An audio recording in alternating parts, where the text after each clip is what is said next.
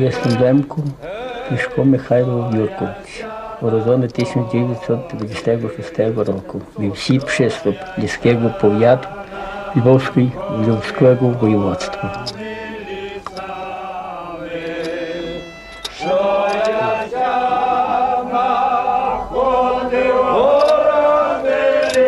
Мама була в вагітному стані тоді і Mama była w błogosławionym stanie, kiedy we wsi zapaliła się chata. Matka dotknęła ręką twarzy i przez to pozostało mi znamie, plama. Kiedy przyszedłem na świat, matka powiedziała, taki już będzie jego rodowy los.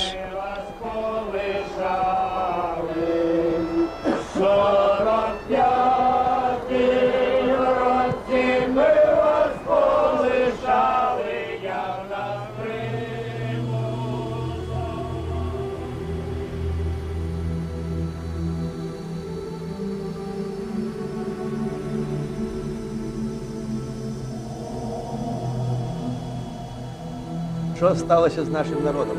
Co stało się z naszym narodem? Ну, сталася трагедія. Stała się tragedia, Буквально за пару місяців 45 bo w ciągu року kilku miesięcy 1945 wysiedlono przeszło pół miliona rdzennych mieszkańców Beskidów, корінних жителів Бескидів. Вони жили którzy там żyli tam z біля dziada pradziada. Але настав 45 рік. Kiedy nadszedł 45 rok, trzeba było się pakować, zabierać co kto miał i jechać nie wiadomo gdzie. Taka nas dola spotkała. Była zrobiona ludziom krzywda. Był pokrzywdzony, zniszczony naród, a z takich przepięknych regionów jak Chełmszczyzna, na trzanie i Łemkowszczyzna ślad nie pozostał. Michale, ja bym chciał, kiedy już tam przyjedziesz, abyś pokłonił się nisko naszej ziemi i przekazał pozdrowienia od swoich braci i sióstr. Padnij na kolana, przeżegnaj się i pomódl się do Boga o naszych dziadów, pradziadów i za tych wszystkich, którzy w tej ziemi spoczywają поховані, І передав i przekaż im pozdrowienia od nas wszystkich, wysiedleńców, виселенців, którzy tam jeszcze nie byli. як е, не, м- не били там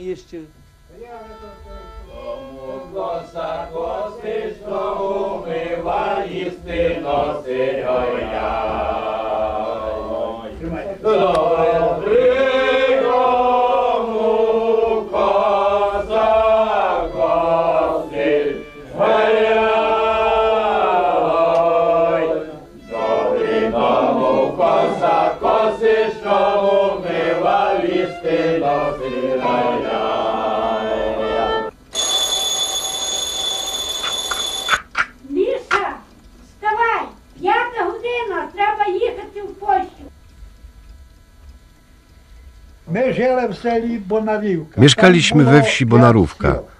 Tam było jeszcze pięć innych wsi zewsząd otoczonych Polakami. No, no ja nie mogę powiedzieć najmniejszego słowa, żeby Polacy robili nam jakąś krzywdę.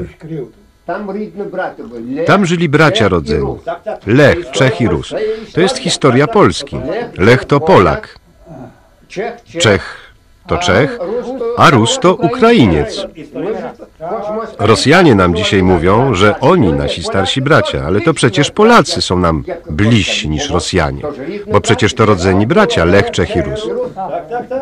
Mój ojciec miał 45 morgów pola. Мій батько мав 19 гектарів поля, 5 гектарів ліса. Я по-лемківськи буду гадав. Бо ся народив лемком і лемком ся чую. Лясу тато мав не, небагато, десь 3 Lasu ojciec miał niewiele, і поля gdzieś ze 3 hektary i pola 12 hektarów. I to w samej Krynicy Zdroju, tam gdzie dziś stoi taki pensjonat Górnik i inne bloki. A jakby mi teraz oddali chociaż kawałek tej ziemi, to ja mógłbym was wszystkich tak ugościć co roku u siebie. I dałbym jeść i byłoby gdzie spać.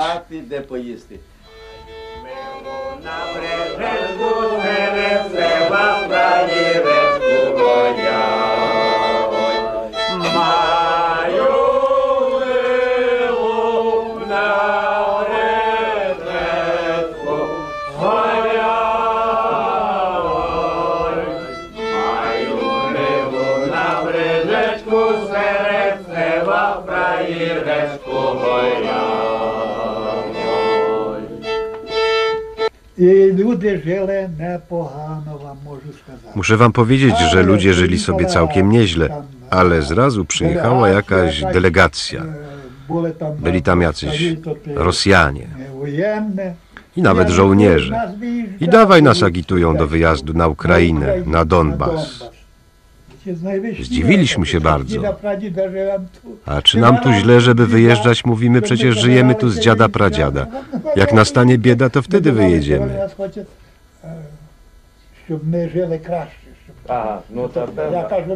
Myśleliśmy, że oni nas na lepsze poprowadzą. Nam obiecywali, że na Ukrainie będą płoty kiełbasami obwieszone i wszystko będziemy mieć, czego tylko zapragniemy. A to było jedno wielkie oszustwo. Omamić ludzi tylko po to, żeby mieć więcej rąk do pracy. Bołemkowie byli bardzo pracowici ludzie. Dziesiątego, jak e, Cewsa, przyjechało wojsko, okrążyło nasze wioski. No ja nie wiedziałem, co, co będzie, czy to oblawa, czy to co. Ja uciekłem, ten to uciekał, zacząłem uciekać. Tu ja patrzę się, że na drugiej stronie naszej wioski już jest ochrana polska. Już strzelają. Gdzie? Stój, stój, stój. Ja, ja nie wiem, co jest, to jest. Nie uciekłem ten czas.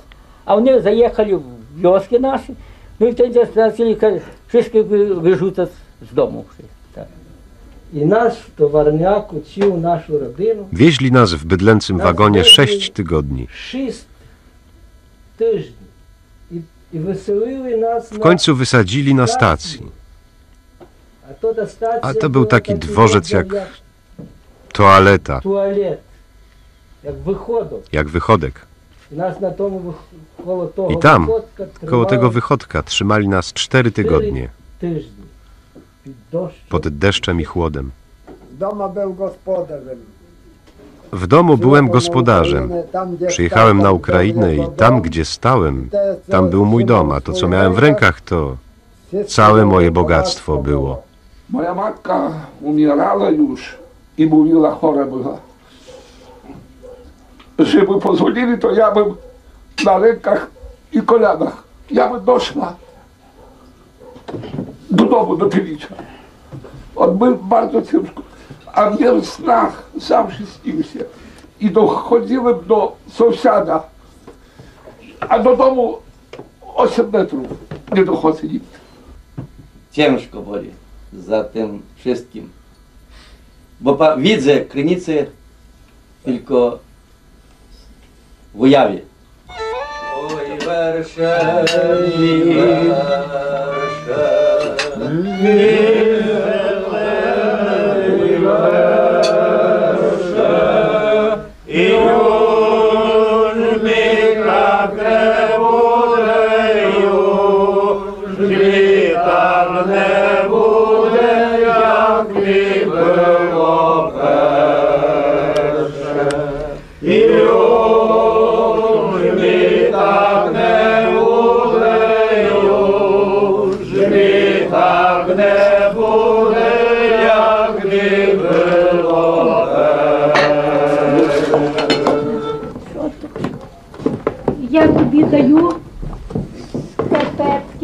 Masz tutaj skarpetki i kalesony і калісони, і сорочку. i koszulę.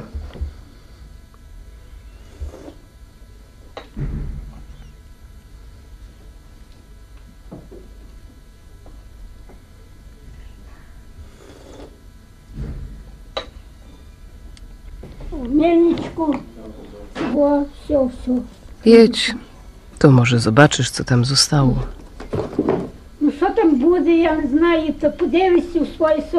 Popatrzysz na swoją wieś, tam gdzie nasza chata stała. Gałązkę z drzewa byś przywiózł. Nie zapomnij tylko.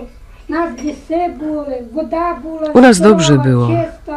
Były i lasy, i woda zdrowa. Dom był i było gdzie mieszkać. I stajnia wielka była. Oj, dobrze tam było. Dobrze.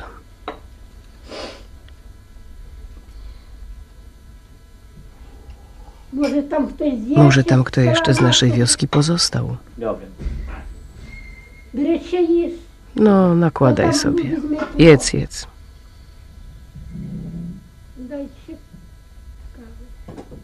Sapku beresz? Beresz sapku? A jak nie?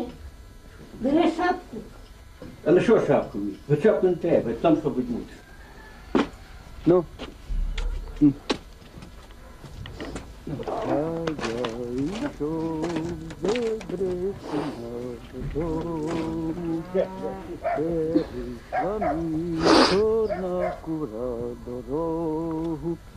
Jak wyszedłem z Debreczyna do domu, weszła mi w drogę czarna kura. Idźże, idźże, czarna kuro do domu. Nie wchodź w drogę nikomu. Іди, іди, чорна кура додому. Не заважай, не заважай по дорозі нікому. Obwieszczenie starosty powiatowego Gorlickiego w sprawie przesiedlenia osób narodowości białoruskiej, łemkowskiej, rosyjskiej, rusińskiej i ukraińskiej do Ukraińskiej Socjalistycznej Republiki Radzieckiej.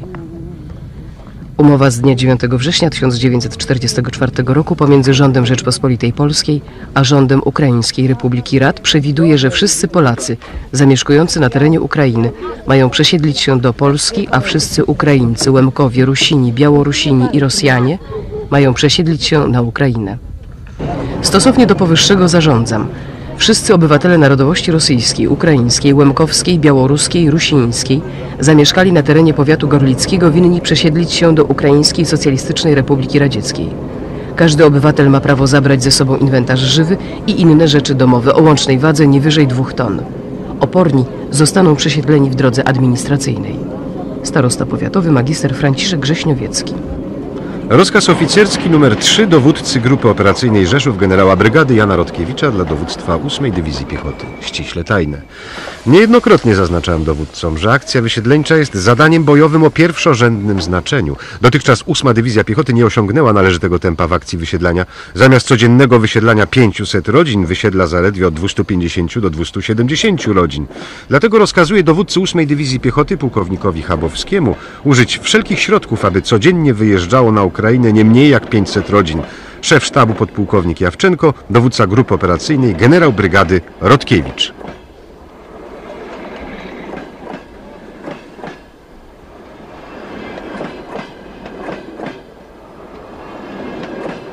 На станції тут сіл було, певно, ж 4 або 5 сіл було тут. Погрод. Було три- Tutaj na stacji w Zagórzu spędzili mieszkańców czterech albo pięciu wsi. Było Krzywe, Przysłup, Kalnica, по-моєму, Ветлина Wetlina була. była. Так. Ми приїхали сюди. Przyjechaliśmy Mama, tutaj siostra całą naszą rodziną. і Дві сестри. Była mama, dwie siostry i stryjenka. A tata nie był. Tato był Ojca już wtedy z nami nie było, wywieźli go na Syberię. Tu był zbiorny punkt. Tu na tej stacji w Zagórzu mieścił się punkt przesiedleńczy. W środku przy kasie była rosyjska komisja, która spisywała co kto ma. Któregoś dnia przyszedł do nas miejscowy i powiedział, żeby nie podawać im za dużo rzeczy, bo wezmą nas za kułaków i wywiozą na Syberię.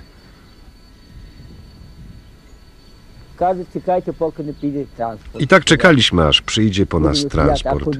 Nikt nie wiedział, dokąd nas powiozą i kiedy. Nikt nam nic nie powiedział. Аж ми вже потім вже сказали, вже W końcu ktoś z tej повезли нас там komisji і- przesiedleńczej powiedział, że zawiozą nas aż pod Stanisławów, na Ukrainę. Іди, іди, чорна кура додому. Не заважай, не заважай по дорозі нікому.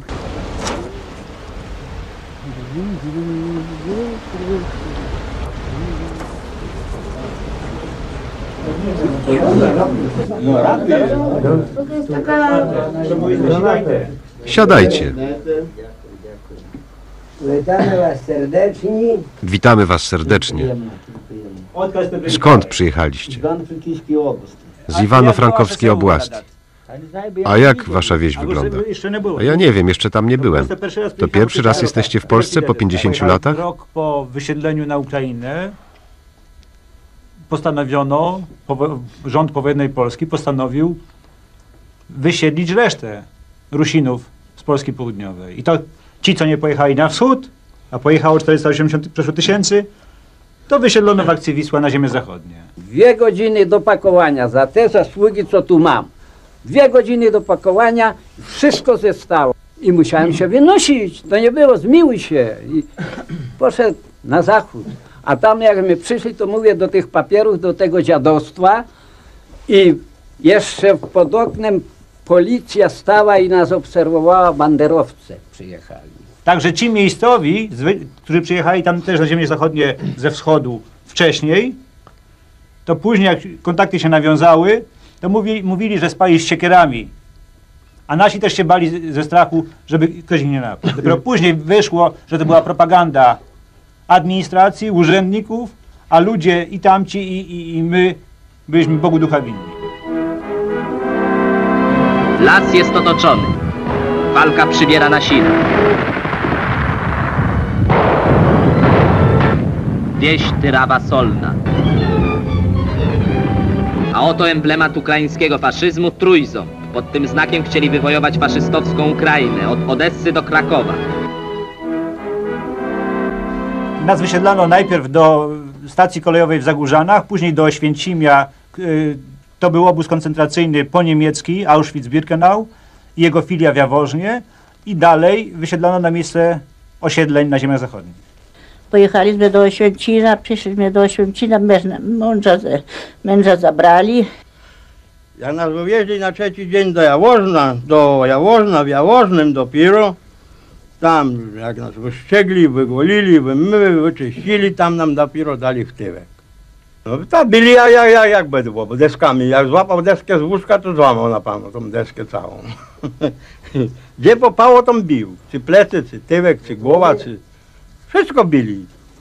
Ludzie były głodne, to był taki, zapomniał z jakiej wsi, no to taki już głodny był, że złapał buraka tego, jak to nazywają, czerwonego do zębów i gryzł to. To jak go złapali, to on całą noc w zębach ten burak nosił koło lagru, koło, koło drutów latał z nim.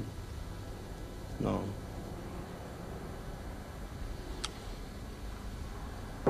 W tym obozie był uwięziony mój дядик. Федчик Микола Іванович. 1947 року. Дяд мені розповідав, що в в'язні було дуже тяжке. Не можна було витримати всякі ну, ті тортури, всякі, які були тут. В той час могло бути że Pan Bóg się odwrócił od ludzi w ten czas.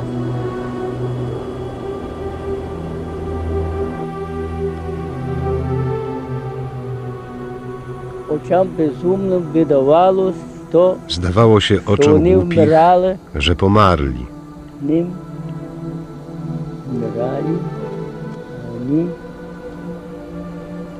A oni trwali w pokoju.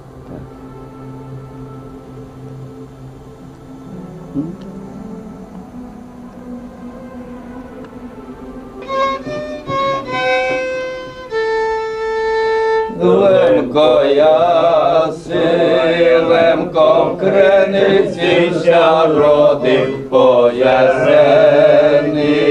весна, що яся на ході, що яся на ході.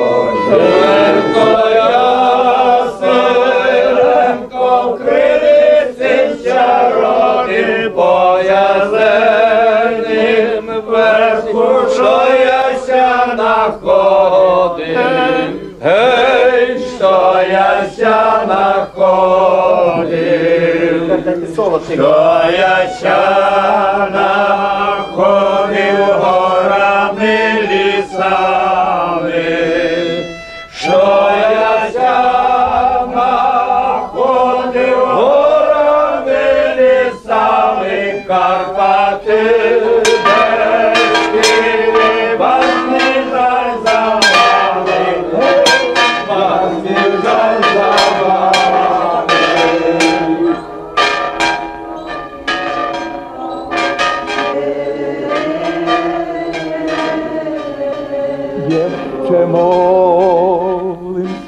спокойнее душ от века усопших рабов Божьих, и оеже проститися им всякому прегрешению вольному и невольному. Господи!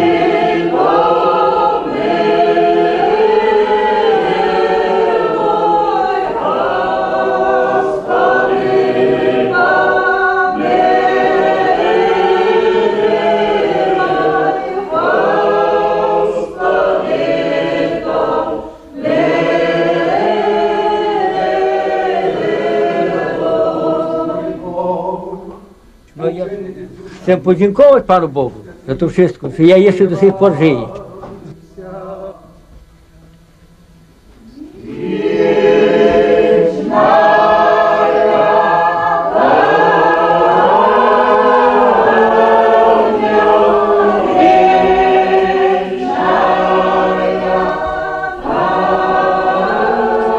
Akcja przesiedleńcza doprowadziła do całkowitego opanowania terenu połękowskiego pod względem bezpieczeństwa. Donosząc o powyższym, proszę Ministerstwo Administracji Publicznej o spowodowanie zarządzenia, aby przesiedleni Łemkowie na przyszłość nie mieli możliwości powrotu do dawnego miejsca zamieszkania. Wicewojewoda krakowski Marian Rubiński. Pierwsza możliwość powrotu pojawiła się dopiero po 1956 roku, po październiku. Miejscowe społeczeństwo było aktywne w walce o wyzwolenie spod okupacji, okupacji niemieckiej, uczestniczyło w partyzance, przechowywał się tutaj y, i później- późniejszy sekretarz y, PZPR Gomułka i Józef Cyrankiewicz. O wolność ludzie walczyli, a po prostu czy myśmy dostali wolność? Mamy taką wolność, jaką mamy do tej pory. A tutaj gospodarstwa trzeba było od osadników odkupować. Ja Za musiałem- pieniążki żeśmy się, znaczy nie, moi rodzice akurat i tutaj panowie obecni się targowali. Ja akurat swoje odkupiłem w 90 roku. Ojcowiznę swoją mi się w 90, w 90 roku się sprowadziłem tutaj, od, odkupiłem swoją ojcowiznę. Dopiero, czyli w 57 roku rodzice wrócili tutaj.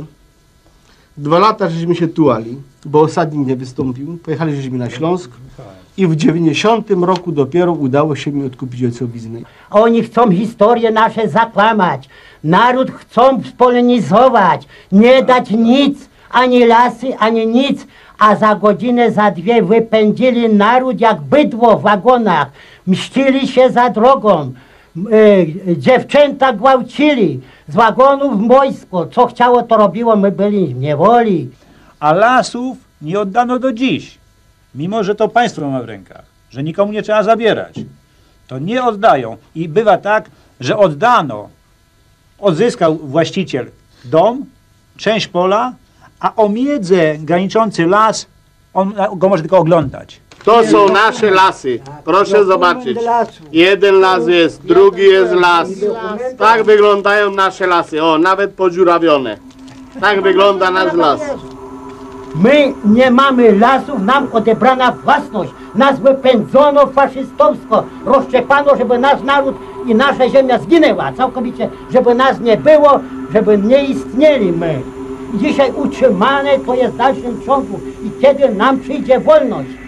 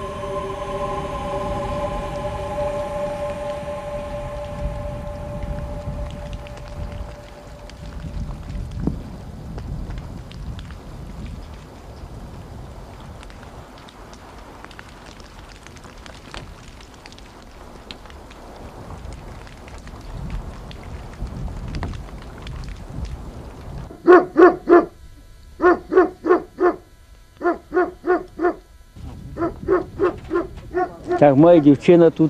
Tu w tym domu mieszkała moja dziewczyna. 15, 16 lat miała. Kaśka miała na imię. Piękna była z niej dziewczyna, ale cóż, los nas tutaj rozłączył. Ona została tu, a ja byłem zmuszony wyjechać na Ukrainę.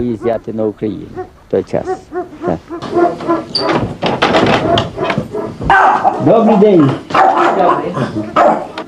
A ty Kaśka tak, Suzanka. Tak. Może pani? No, ja nie jestem tutejsza. Nie? Nie! A, Tylko Przepraszam. już mieszkamy tu kilkanaście lat A. w Cisnej, ale my nie tutejsi. a, No. Proszę zamknąć drzwi. I Ja iszę Debrecyna do domu, Przewilcza mi czarna kura do rogu, Іди, іди, чорна кура додому. Не заважай, не заважай по дорозі нікому. Ага. Ага, ага, так, так, так, так, так,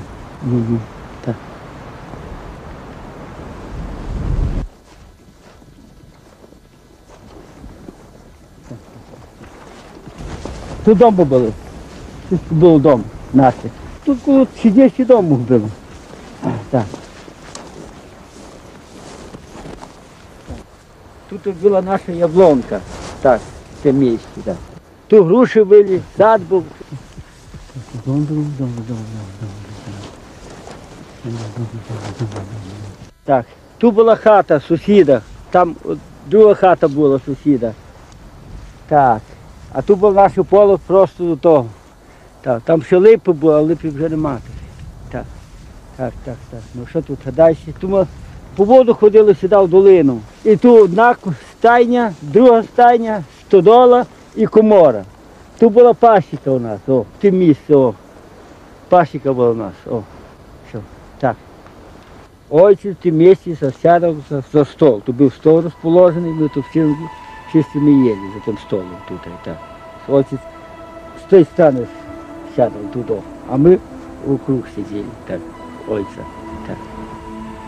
А й матка, а матка ту з п'єца доносила, все з кухні доносила на стол. Так. З того, ту п'єць наш був там, все, кухня була наша, з, кухні все поносили тут на стол. Так. То на стол розположено було, да. так. Да, ну що тут більше немає такого.